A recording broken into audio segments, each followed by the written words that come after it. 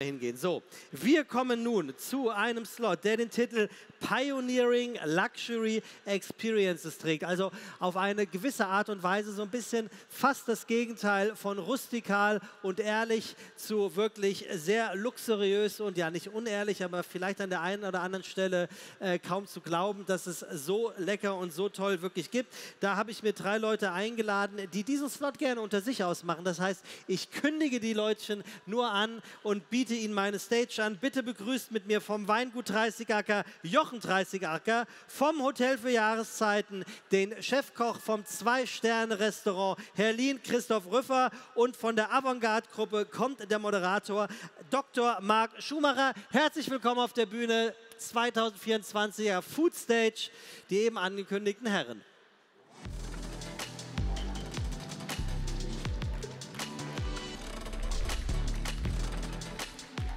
Herr Dr. Schumacher, hallo. Ach ja, genau. Danke dir. Das, den Rest machst du ja. Viel Spaß. The stage is yours. Vielen Dank. Vielen Dank äh, und herzlich willkommen zur Pioneering äh, Luxury Experiences. Wir haben das Thema vorbereitet oder das Thema gewählt, weil sich dahinter eigentlich etwas verbirgt, was nicht ausreichend ähm, verstanden wird. Nämlich zum einen, dass sich gerade in einer brutalen Geschwindigkeit Konsum entmaterialisiert. Das heißt, es wird immer mehr Kaufkraft gebunden eigentlich in nicht materiellen Gütern. Das steckt eigentlich hinter dem, was man Erlebnisökonomie nennt. Und diese Erlebnisökonomie wird an vielen Stellen immer falsch verstanden, weil dann gleichgesetzt wird mit Event oder mit Eventisierung. Und es geht viel, viel tiefer. Und man muss das verstehen, was die Konsumentinnen eigentlich umtreibt, wenn sie eben ihren Konsum so in dieser Form neu ähm, organisieren und das andere ist eigentlich New Luxury. Luxus wird völlig neu gelebt und neu verstanden und wird aus dieser tradierten Ecke rausgeholt. Und dieses Thema möchte ich mit zwei Experten, mit, den, mit zwei Protagonisten dieser Entwicklungen oder dieser Phänomene eigentlich besprechen. Insofern freue ich mich heute sehr, dass Jochen 30 Acker das mit uns macht, Unternehmer, Winzer und Visionär. Insofern ähm, an dieser Stelle herzlich willkommen, Jochen 30 Acker.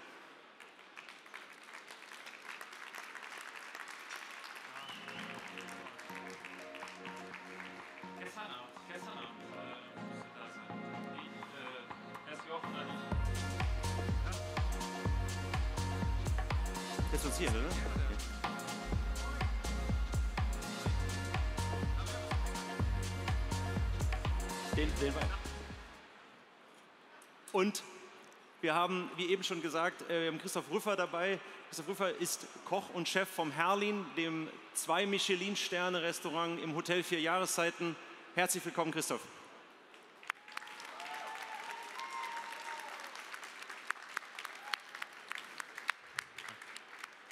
So. Hallo. Moin. Hi. Setzt euch. Danke. Es gibt ja, das Schöne ist, wir haben uns schon durch den ganzen Tag gekämpft und ich habe mich eigentlich den ganzen Tag darauf gefreut, dass ich hier zwei heute dabei habe, ähm, mit denen es auch sofort ins Produkt reingeht. Ähm, insofern können wir das gleich äh, sogar dazu, Guck mal, guck mal. dazu nehmen. Ehrlich, das ist doch äh, gut. Das, das ist immer schön hier, oder? Das macht am meisten Spaß. wir, haben, an der, äh, wir haben an der Stelle sogar von, von beiden Häusern ähm, etwas für euch dabei. Also wer ähm, von, von Jochen etwas probieren möchte, ich soll kurz sagen, dass da vorne stehen auch sonst Gläser und das Team von Jochen 30 Acker ist dabei. Also wer möchte, ist herzlich eingeladen, hier ein Produkttasting sich hier praktisch anzuschließen. Und das gleiche gilt, glaube ich, auch, Christoph, für, für euer Haus. Ihr habt auch was dabei. Ich habe auch was mitgebracht. Erstmal für euch beide. Dankeschön. Eine. Kleinigkeit. Und ich glaube, da ist jemand bei uns aus dem Team, der verteilt jetzt auch hier im Publikum. Am Ende musst du um diese Uhrzeit auch wussten nicht, wie viel wir mitbringen können, schön aber aus. Ne? bis jetzt haben wir was mitgebracht. Schau mal. Christoph Jochen, ihr, ihr repräsentiert ja beide ähm, Dinge, die eigentlich eine sehr etablierte, sehr tradierte Welt sind. Eine Sterne-Gastronomie hat hohe Eintrittsbarrieren, hat eine sehr ähm, luxuriös anmutende und damit auch hohe Barriere eigentlich. Wein ist eigentlich auch ein Thema, was am Ende für Kenner immer noch gerne positioniert wird. Leute tun dann so, als wenn sie damit besonders sich auskennen würden und am Ende hat das auch eine Eintrittsbarriere, auch wenn das natürlich bei Wein deutlich leichter ist. Vielleicht könnt ihr beide noch mal ein bisschen uns in eure Welt abholen, Jochen, wie ihr das entsprechend angeht und auch diese Eintrittsbarrieren, Pioneering New Luxury Experiences, wie ihr das eigentlich aufhebt und wie ihr mit, dem, mit diesem Thema anders umgeht. Ihr seid ja am Ende schon auch ein Innovator in diesem Markt. Ich glaube, grundlegend bist du irgendwie auch ein Handwerker. Das heißt, wir haben ein Naturprodukt, was wir pflegen, in jetzt für mich, oder ein Naturgut oder ein Kulturgut. Und wir versuchen es einfach bestmöglich zu machen. Das heißt, wir äh, stecken sehr, sehr viel Mühe, Leidenschaft und Hingabe da rein, das bestmöglich zu machen. Was du aber bei uns in der Weinwelt definitiv hast, ist, dass du manchmal das Gefühl hast, du musst studiert haben, um irgendwie einen Wein zu verstehen. Das ist gar nicht so. Ich, hab, ich bin noch groß geworden in der Zeit, da hieß es, du darfst nicht sagen, es schmeckt. Und ich finde es wunderbar, wenn jemand ein Glas Wein in der Hand hat und sagt, es schmeckt, dann ist das perfekt. Und ich bin ja nicht allein da, sondern ich habe da hinten mein Team mit mir. Und wirklich, wir setzen da ganz, ganz viel äh, Leidenschaft rein. Aber uns ist es auch ganz wichtig, dass es irgendwie auch simpel ist, dass es einfach ist, dass es verständlich ist. Wir wollen einfach auch zeigen, dass es hier einfach um den Genuss geht, um den Moment geht und, und nicht nur um ähm, sagen wir, die Einzellage, obwohl die auch wichtig für uns ist, das Terroir. Und genau dafür stehen wir, aber auf allerhöchstem Niveau. Das ist ganz, ganz wichtig. Also es ist nie nur ein Etikett, es ist nie nur ähm, einfach die Verpackung, die drumherum ist, sondern es, das Produkt spricht, wenn das, was wir tun, nicht perfekt ist und einfach auch das repräsentiert, für was wir stehen, macht alles keinen Sinn. Christoph, die die Klientele bei dir, können wir gleich vielleicht nochmal drauf, ist ja sehr unterschiedlich. Ihr bedient ja ganz unterschiedliche Motivationslagen, zu euch zu kommen. Am Ende bleibt es ein Zwei-Sterne-Michelin-Haus. Wie geht ihr mit dem Thema um, das zugänglich zu machen und diesem neuen Luxusverständnis auch gerecht zu werden? Ja, es zugänglich zu machen ist natürlich erstmal auch eine, eine, Hemmschwelle oder eine Barriere abzubauen. Ja, es ist das Vierjahreszeiten, es ist jetzt vor zwei Tagen wieder zum besten Hotel Deutschlands gewählt worden bei 101 besten Hotels. Kurz, ne? Und danke, danke. Und äh, jede Abteilung tut halt sein Bestes dazu. Und wir vom Herlin, vom Restaurant Herlin mit zwei Michelin-Sternen auch. Ähm, aber wir sind vom Team her ganz jung. Ja, es hat natürlich ein, schon ein, ein, ein Luxury Experience, es hat eine, eine sehr luxuriöse Ausrichtung, das ganze Haus, auch das Restaurant strahlt Luxus aus, aber das ist auch das, was gerade viele Menschen in diesen Zeiten auch suchen, ja, die sagen, ich möchte mir das auch mal gönnen. Und da haben wir Gäste, die sparen darauf, die gönnen sich das zur äh, Verlobung oder zum Heiratsantrag, zum Hochzeitstag, zum runden Geburtstag oder sonst. Wir haben natürlich aber auch die Gäste, für die ist das normal, das ist für die eine Normalität. Die sind heute in Paris, morgen in London, übermorgen in Monaco und äh, dann auch bei uns. Und ähm, da alle abzuholen, das ist ein Kunststück. Und das schafft man halt nur mit viel Herzblut. Das muss man vorleben. Auch gerade jungen Mitarbeitern muss man das vorleben, sie viel Herzblut. Und auch, äh, dass man ähm, auf Menschen zugeht und denen dann die vielleicht auch eine Hemmschwelle oder für sich irgendwie ein bisschen gehemmt sind, die zu nehmen. Jetzt kann man ja bei euch beiden, also bei deinem Restaurant oder auch mit deinen Produkten, man kann ja bei euch wirklich auch sehr, sehr viel Geld lassen und ähm, muss ja auch das erstmal erklären, warum das letztendlich auch notwendig ist, warum das so kostet. Selbst äh, so modern man es interpretieren will oder so zugänglich es interpretieren will, Christoph, es bleibt am Ende eine Sternegastronomie, die ein kleines Vermögen kostet in dem Moment. Und jetzt hast du dort Leute sitzen mit sehr unterschiedlichen ähm, Motivationslagen bei euch zu sein. Wie kriegt man das in so einem Service-Team gemanagt, dass man eben sicherstellt, okay, der ist gestern aus Paris gekommen, für den ist das Normalität und der ist einmal in seinem ganzen Leben bei uns. Das sind ja sehr unterschiedliche Situationen, die ihr in so einem Abend managen müsst. Fingerspitzengefühl, also das absolute Fingerspitzengefühl, das lernt man aber, wenn man in den Beruf reinkommt. Über Jahre lernt man das und ich habe einen fantastischen Restaurantleiter, Marius, ich weiß nicht, ob der auch irgendwo im Publikum ist oder auf jeden Fall schwirrt er hier auf der Messe rum der hat wirklich, der, der kann auch mit Menschen sehr gut. Man muss sich auf diese Menschen einstellen, ja. Und ähm, das ist eine Kunst, aber das lernt man über die Jahre. Das lernt man auch im Vierjahreszeiten ganz extrem, muss ich sagen, äh, weil wir es geschafft haben, über die Jahre halt auch dieses Luxussegment aufzubauen, ja und äh, nicht nachlassen, halt auch äh, das weiter zu, zu vervollständigen. Also zum Beispiel, wenn man bei uns äh, ins Restaurant kommt, äh, dann gibt es den Aperitif bei uns im Küchenbereich. Also vielleicht hat man im Restaurant sehr luxuriös, vielleicht noch Hemmungen, aber oben sagt dann der Service, hey, wir würden Sie gerne einladen, in die Küche äh, mal kennenzulernen. Wir gucken mal hinter die Kulissen und das ist schön. Also die kommen hinter die Kulissen, wir bieten ihnen ein Glas Champagner an, äh, wir laden sie gern dazu ein. Es äh, gibt drei kleine Grüße. Jeder Koch, also aus meinem Team, geht hin, erzählt ein bisschen was äh, was wir da gerade machen und kann auch Fragen beantworten, wie so der Ablauf hinter den Kulissen am Abend ist. Jochen, ich kann ja ich kann ja bei dir auch schnell mal 500 Euro, 1000 Euro, 2000 Euro für eine Flasche Wein in den Top-Ausbauprodukten machen. In der, in, Im Champagner ist das total gelernt und total akzeptiert. Wenn ich weltweit unterwegs bin und gucke mir Preislagen an den Weinkarten oder in Champagnerkarten vielmehr, da denke ich mir immer, irre, was die eigentlich erreicht haben, mit was für einer Lässigkeit. Die Leute sagen, ja, es macht ja total Sinn, dass das Zeug auf einmal zweieinhalbtausend Euro kostet. 30 Acker in allen Ehren, ihr seid ja eher eine, ein starkes Produkt und arbeitet an dieser tollen Marke. Wie kriegt ihr das vermittelt und erklärt, dass es das wert ist und dass es das braucht? Ob es es braucht, ist immer relativ, aber es ist ja immer, es geht immer um Konsequenz bei dem, was wir tun. Und das, was wir machen, ist nicht skalierbar. Du hörst zwar immer bei jedem Geschäftsmodell, das ist skalierbar, das ist mach, also ne, wann was gut ist, kannst du es erweitern. Das ist bei uns einfach nicht der Fall. Bei jeder Flasche Wein, die wir produzieren, steckt ganz, ganz viel Herzblut drin und ganz, ganz viel Persönlichkeit. Und das schaffst du einfach nur, wenn du auch die Möglichkeit hast, für jede Flasche Wein auch die Verantwortung zu übernehmen. Und ich bin Gott sei Dank nicht allein, sondern ich habe ein großes Team, mit denen machen wir das gemeinsam. Aber trotzdem ist die Menge arg begrenzt. Und dann hast du verschiedene Kategorien. Du hast den Wein für jeden Tag, wo du einfach sagst, ich möchte jetzt einen schönen Moment. Du hast den Wein, wo, du, wo, wir anfangen, das Terroir zu prägen, wo wir zeigen, okay, wir sitzen in Bechtheim, ein kleiner Ort, für uns über 1200 Jahre Weinbau, eine große Historie für uns kennt wahrscheinlich, kennen die wenigsten, aber es ist sehr, sehr charakterstark und das versuchen wir in unsere Weine reinzubringen. Das ist schon etwas knapper, weil man muss beim Wein sehen, je kleiner der Punkt, wo der Wein herkommt, umso höher ist die Qualität. Und bei der Einzellage zum Schluss, das sind die Weine, die du ansprichst, reden wir wirklich über pure Konsequenz im Aus- und Anbau, aber dann von einer ganz, ganz kleinen Menge. Und jetzt ist bei uns so, was schön ist, dass du nicht nur in Deutschland vertreibst, sondern eben auch in der Welt. Und dann hast du eine Lage, wo du zum Schluss 600 Liter erntest und hast unfassbar viel Aufwand reingesteckt. Und dann hast du einfach eine ganz, ganz kleine Menge, die du dann in die Welt verteilst. Und gehen zwölf Flaschen dahin, 30 Flaschen dahin. Und dann bildet sich auch vielleicht ein neuer Preis. Und ich finde persönlich, wenn ich, vor die, wenn ich persönlich vor die, äh, also vor die Entscheidung gestellt werde, skalierst du in Menge oder geht es um die Güte, würde ich mich immer für die, Güte entscheiden.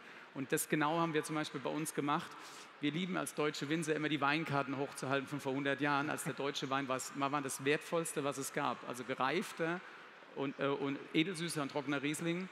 Es gab nichts Begehrteres in der Weinwelt. Aber das haben wir tatsächlich über, würde man sagen, einige Jahrzehnte etwas verlernt und äh, haben auch nicht unbedingt dafür beigetragen. Und genau da arbeiten wir wieder dran. Das heißt, wir geben den Weinen eine Struktur, dass die reifen können, teilweise 30, 40 Jahre. Und dann haben wir etwas, wir haben alle keine Zeit. Und ich glaube, das ist das Wertvollste, was wir in unsere Weine reingeben, die Zeit. Das heißt, wir haben uns dazu entschieden, die Weine erst nach zehn Jahren zum Beispiel in den Verkauf zu geben, wenn wir glauben, jetzt zeigen sie auch das Erlebnis, was wir zeigen wollen. Und ich glaube, das ist ganz, ganz entscheidend, dass du sagst, ja, dann ist so eine Flasche möglicherweise, kost, kostet sie mehr, auf der anderen Seite bietet sie aber ein unbeschreibliches Erlebnis. Und das beschreibe ich damit, dass ich sage, zum Schluss muss es immer dir das wert sein. Und ich glaube, ich wünsche mir eine Zeit, wo, wo, wo es auch ein Event wie in der Küche um eine Flasche Wein gibt, wo man sagt, man hat gemeinsam eine tolle Erfahrung und dann gibt es ja, mehr aus. Jetzt hast du bei Luxus ja normalerweise die Situation, dass du für 2.000, 3.000 Euro etwas kaufst, was halt auch in zehn Jahren noch hast oder angucken kannst. Ja? Und bei euch ist es ja eben deutlich kurzweiliger. Das macht das spannend und das geht ja auch nur, weil hier zwei Persönlichkeiten sitzen, die visionär und auch ja, ein Stück weit im positiven Sinne gemeint getrieben das entwickeln und das, was ich mit Leidenschaft beschreiben würde, nämlich, ähm, ich habe mal viele Jahre in Stuttgart gelebt, da sagt der Schwabe, sagt Leiden und Schaffen. Das ist die Leidenschaft in dem Moment. Das Produkt, Christoph, was ihr herstellt, ist ja unglaublich personalintensiv. Und ich würde gerade in der, du hast ein sehr junges Team, du hast das beschrieben und bei euch ist 24-7 durchaus ein strammer Ton, eine sehr hohe Präzision. Wie begeistert man junge Leute für ja eine sehr besondere Sache, die ihr, die ihr da macht, die jetzt normalerweise so auf den ersten Blick gar nicht so in den Zeitgeist passt für die nächste Generation? Ah, doch, die passt sehr gut in den Zeitgeist, finde ich immer, weil Qualität wird immer Bestand haben. Ne? Das ist äh, bei Jochen so, das ist bei mir so, deshalb haben wir auch schon seit zig Jahren eine Partnerschaft äh, mit, mit äh, Jochen Dreißigacker und dem vier Jahreszeiten, weil Qualität wird immer Bestand haben, ja, weil die Leute letztendlich auch in schnelllebigen Zeiten, die Leute wollen auch wieder Qualität genießen, ja, und äh, auch, auch die Menschen hinter dem Produkt kennen, ja, äh, die das, die das äh, produzieren. Ähm, bei uns begeistern wir junge Menschen dadurch, dass wir eigentlich ähm, ja, sie auch äh, ja, fast umarmen, würde ich schon fast sagen. Ja? Also wer bei uns, wer bei mir jetzt speziell in der Küche anfängt, ähm, im Vorstellungsgespräch innerhalb den ersten zwei Minuten merke ich, habe ich einen Bezug zu den Menschen oder nicht. Ja, gefällt der mir, weil ich verbringe zwölf Stunden am Tag mit demjenigen. Ja, so, er, er nicht zwölf Stunden bei, mit mir, aber ich bin zwölf Stunden im Betrieb. So, aber so und ähm, das merke ich ganz fix und dann ähm, wachsen die einem auch ans Herz. Ne? Also letzte Woche hat mich ein Mitarbeiter äh, verlassen nach sechs Jahren und sieben Monaten, äh, weil es ja für den einfach auch bei mir in der Küche nicht mehr weiterging, weil der Stellvertreter, also mein Stellvertreter, der ist mit mir jetzt schon 18 Jahre im Betrieb, ich bin 22 Jahre da. Äh, das ist man auch nicht, wenn es einem nicht gefallen würde oder wenn's, wenn man nicht das Gefühl hätte, es geht weiter aufwärts und es entwickelt sich immer wieder. Und ähm, dann ist der Stellvertreterposten besetzt und der hat woanders bei einem Kollegen von mir einen sehr guten äh, Posten bekommen. Aber es ist schade, es ist schade, dass der dann geht, weil man ja wie Familie zusammengewachsen ist. Ja?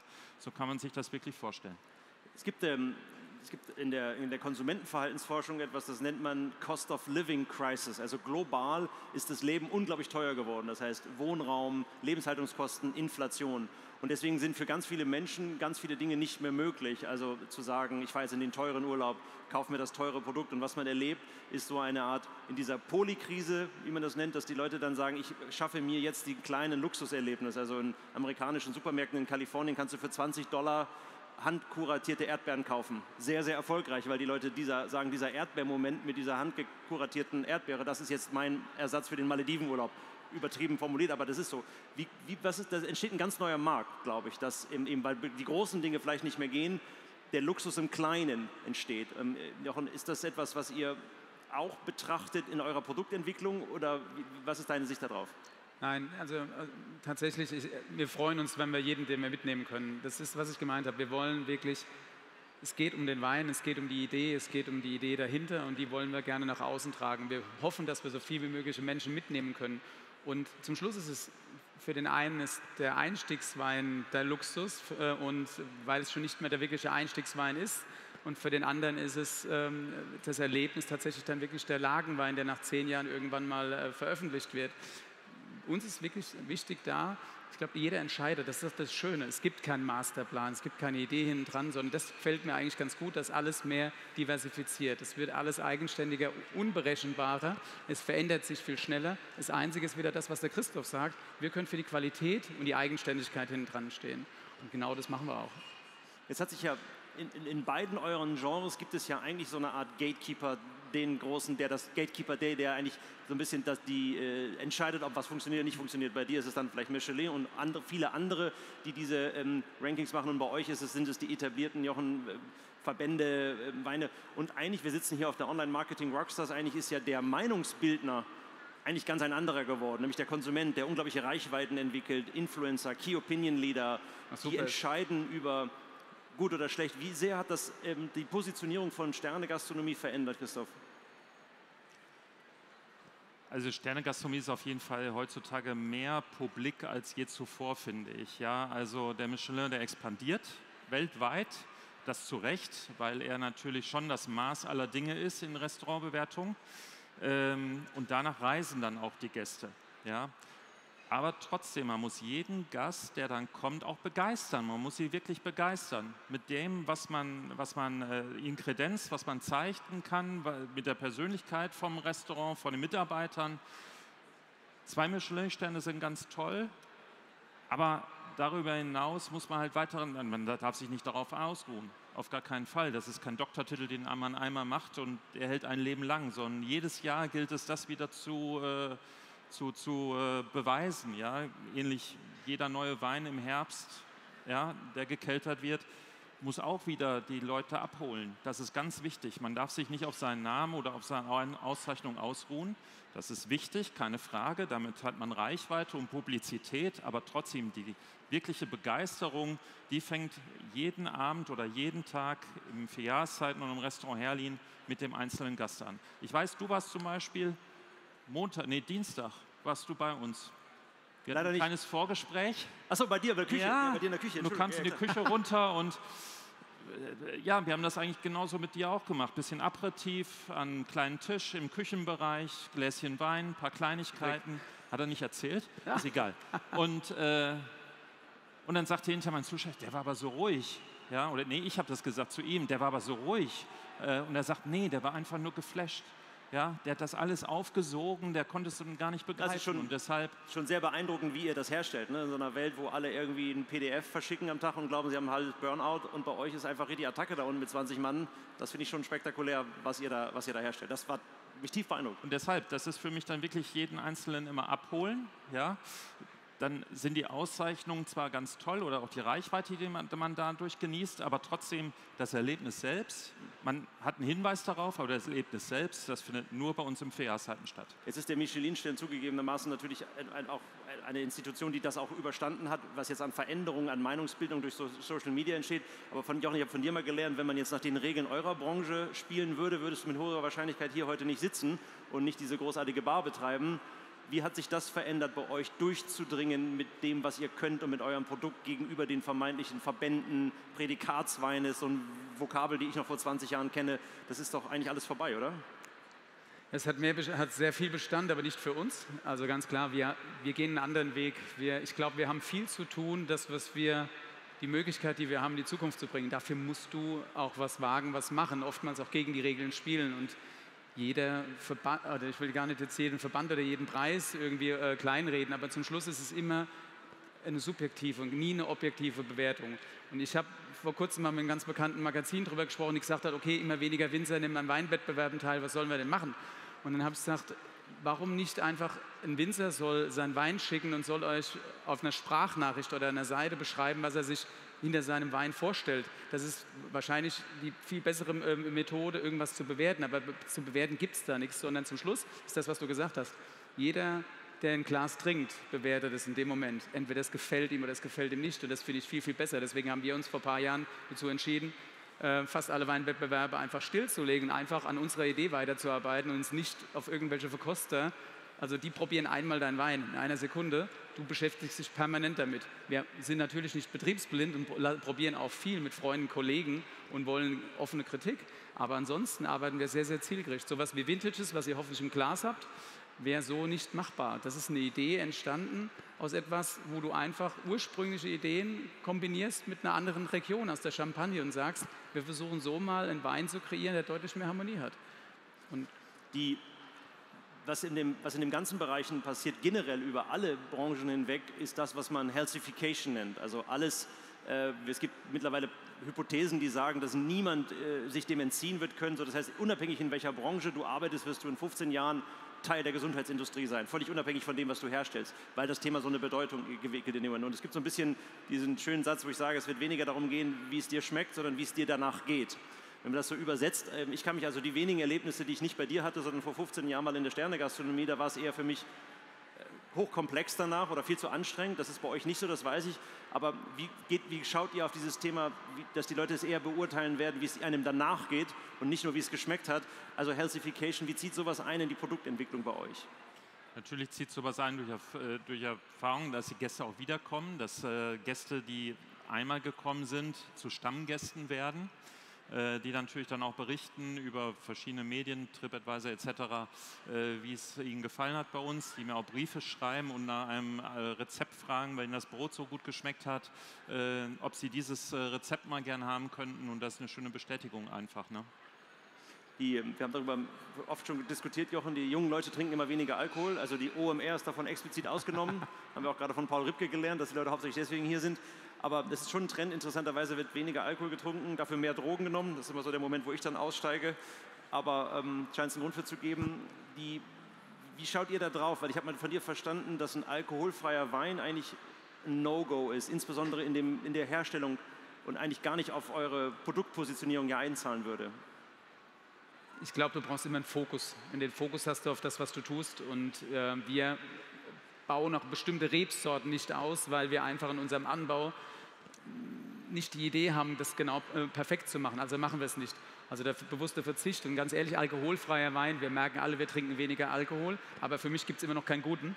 Und, Entschuldigung, äh, aber wenn es, äh, ich glaube, wir müssen daran arbeiten, das zu machen, die Alternative zu machen. Irgendwann wird es auch einen guten geben. Du hast ein Beispiel von der Bierbrauerei genannt, die brauchen halt vielleicht manchmal auch 60 Jahre oder, oder 20, 30 Jahre. Länger. Ähm, Und uns geht es einfach darum, mit allem, was wir machen, du hast richtig gesagt, Genuss zu zeigen. Das heißt, wenn du eine Flasche Wein von uns trinkst, und ich bin überzeugt davon, du trinkst weniger heute. Also es wird weniger Wein getrunken, es wird bewusster getrunken, was uns die Entscheidung einfacher gemacht hat zu sagen, wir können nicht skalieren, wir haben eine fixe Menge, die haben wir und die wird verteilt. Aber wenn du was von uns trinkst, dann hast du, die, hast du einen, guten, einen schönen Moment und einen guten nächsten Tag und hast nicht irgendwie ein Problem im Kopf. Ne? Und ich glaube, es wird definitiv dazu übergehen, es wird deutlich bewusster äh, bewusster getrunken und, und genossen, aber dann einfach um, umso mehr darauf geachtet. Und wenn wir die Möglichkeit haben, irgendwann einen guten alkoholfreien Wein zu machen, dann machen wir das, aber so lange mal nicht. Christoph, ähm, wie, jetzt habt ihr ja... Eine ich eigentlich der Einzige, der hier von uns trinkt. Ja, ich, also, ich, ich wollte gerade die ganze Zeit. Irgendwie... Jochen, sag doch mal schnell einen Satz dazu, was das hier ist, bitte. ja, das ist... Ui. Bitteschön. Christoph, die, ich kann aber es hat keiner mitgezählt, dass wie viel Glas das jetzt schon ist, ja? Es ist vintages Riesling, ein Riesling aus fünf verschiedenen Jahrgängen. Und die Idee ist hinten dran, nicht den Jahrgang zu zeigen, sondern einen Geschmack zu kreieren. Also hier für jeden, der Angst vor Säure hat, vielleicht mal ein Beispiel, äh, dass es so in der Art nicht gibt. Da arbeiten wir seit über sieben Jahren dran an dem Wein, um zum Schluss was zu kreieren, was du jedes Mal wieder trinkst, erkennst und ganz, ganz viel Freude mit hast. Sorry, ich hoffe, es schmeckt dir. Sehr gut. Angst. Gibst du heute einen aus an deinem Stand heute Angst? Abend? Unter Angst? anderem. Es gibt ja. ja, immer so gibt ja immer Dinge, die man lernt. Angst vor Säure. Das ist, was, was, für, was für einen Therapeuten. Ich habe Angst vor Säure. Das, äh, das finde ich gut. Christoph, ihr habt ja als Haus, als führendes Haus in, in, in Deutschland alle Möglichkeiten, äh, mit jedem zu kooperieren, mit jedem diese Partnerschaften auch Dankeschön. zu leben. Ich habe das gefühlt, dass es das bei euch sehr intensiv auch gibt mit, mit 30 Acker. Ich glaube hier für die Regie, es gibt auch ein kleines Video, was wir haben, was so ein bisschen auch die Dinge zeigt, die ihr zusammen macht. Vielleicht können wir das im Hintergrund mal, mal laufen lassen. Was ist für euch ausschlaggebend gewesen, auf so eine enge Partnerschaft auch mit 30 Acker zu setzen? Qualität. Einfach Qualität. Wir setzen auf Qualität. Das ist das A und O. Das wird von unserem Eigentümer vorgelebt. Wir Mitarbeiter leben das alle nach. Und äh, es ist einfach äh, auch, auch verlässlich. Ja? Es ist auch verlässlich. Es nützt nichts, wenn man einmal ganz toll ist und danach sagt man ab. Also man braucht eine Kontinuität. Qualität, Kontinuität und halt auch das Menschliche muss stimmen. Ja? Und wenn die drei Sachen alle gegeben sind, dann ist das auf jeden Fall immer eine hervorragende Partnerschaft. Warum für dich das vier Jahreszeiten? Christoph hat ganz, ganz viele richtige Sachen gesagt. Zum Schluss, wir leben das. Es ist nicht einfach nur, dass das was ist, was geplant ist, sondern wir leben das jeden Tag, wenn wir uns sehen, jeden Tag, wenn wir Veranstaltungen miteinander machen. Wir haben ein tiefes Verständnis füreinander, wir achten aufeinander und das ist großartig. Und wir haben die Qualität, ich glaube, das ist ganz, ganz entscheidend. Es dreht sich im Vierjahreszeiten oder bei uns, es dreht sich alles um Qualität, aber dann um viel Menschlichkeit, um viel Persönlichkeit hinten dran. Das erzähle ich immer wieder. Ich habe so schöne persönliche Momente äh, in, in Vierjahreszeiten gehabt. Und genau das zieht mich immer wieder hin und das verbindet uns, glaube ich, auch, weil alles, was wir machen, steckt auch viel Persönlichkeit hinten drin und viel, viel, ja, wir wollen es einfach jedem schön machen und ich glaube, das verbindet uns auch. Schönheit ist auch so ein Thema. Also Schönheit auf dem Teller, ja, und mit dem bestaussehendsten Winzer Deutschlands zusammenzuarbeiten, ist natürlich auch äh, sehr schön. Ne? Ibiza-Style so ein bisschen, ne? aber... Aber Schönheit oder Harmonie, ne? Ästhetik ist ich, etwas, was ja. viel zu wenig gewürdigt wird, weil das eigentlich auch den Luxus dann determiniert, was man wahrnimmt, ne? mit dem Auge und mit allen Sinnen. Jochen, du hast, ähm, mit Pioneering New Luxury geht es so ein bisschen ja auch der Benchmark ist ja schon ein bisschen die Champagne, oder der, der Champagner, finde ich, also was die geschaffen haben an, an, an Markenpositionierung und auch an Preisakzeptanz global in dem Zusammenhang. Wenn du sagst, die deutschen Weine, wenn du die Karten rausholst von vor 100 Jahren und wir waren mal leading in dem Moment, wie ist, da, dran. wie ist da dein, dein Blick auf, wie geht es da für euch, für den deutschen Wein weiter, wenn man in diese Region vorstoßen will, die jetzt mit der Champagne für mich assoziiert sind? Also ich glaube einfach, der, der Weg ist vorgegeben. Die Zeit, auch die Champagnerhäuser, by the way, die Champagner, die heute getrunken werden, die Menschen begeistern, sind zum Schluss teilweise zehn Jahre, zwölf Jahre oder älter gereift. Nimm dir Zeit, arbeite in Perfektion an dem, was du tust und dann gib dem Ganzen auch die Zeit. Und bitte, und was wir versuchen auch, wir versuchen einen ganz geradlichen Weg zu gehen. Also jeder, der uns kennt, weiß, wir sind sehr straight in dem, was wir machen. Und genau, ich glaube, wenn wir umso mehr andere, nicht nur wir, wir können es nie alleine, diesen Weg gehen und der, der bildet sich immer mehr, dann schaffst du auch etwas zu entwickeln, wo man, ich glaube, ich weiß gar nicht, ob die Champagne zu wiederholen ist, weil es geht ja nicht darum, riesen Brands aufzubauen, sondern zum Schluss einfach die Idee zu zeigen, vielleicht auch viel fragmentierter, weil es einfach heute viel besser in die Zeit passt. Und wir haben vorhin gerade über Communities gesprochen. Ich glaube einfach, das, was wir tun, spricht bestimmte Menschen an und die, die folgen uns und leben unsere Idee und wir leben es gemeinsam. Das finden wir ganz toll.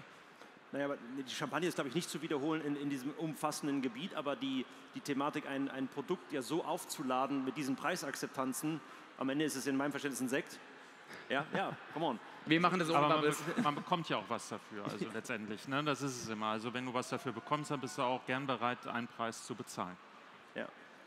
Ihr Lieben, unsere Zeit ist leider schon vorbei. Große Freude mit euch gemacht. Ganz herzlichen Dank. Vielen lieben Dank. Herzlichen Dank euch. Schönen Abend. Wir hoffen, es hat geschmeckt. Danke. So, ganz herzlichen Dank an Jochen, Christoph und Marc. Wir machen natürlich noch ein. Foto, ne? Foto? Okay. oder? Das machen wir. So, In die Mitte. Marc in die Mitte. Großartig. Ach, Freunde, habt ihr Vielen Dank. unterschrieben? Das machen wir jetzt. Nee, Habt ihr unterschrieben? So, bitte. machen wir jetzt. Kanntest du die Flasche schon, Jochen? Haben wir nie gesehen. Also ich meine nicht Martin, ne? nicht missverstehen. Komm mal. So, also während die drei Jungs unterschreiben, kann ich ja schon mal den nächsten Slot ankündigen. Wir sind selbstverständlich, leider Gottes, nichts gegen all meine Gäste hier bisher auf der Bühne. Wir sind natürlich deutlich zu männerlastig bis hierher gewesen, bis hierher. Denn jetzt äh, werden wir im nächsten Slot eine Frau mit auf der Bühne haben. Ich ähm, freue mich ganz besonders, dass sie mit am Start ist. Wir kennen uns irgendwie schon ein bisschen länger, aber immer nur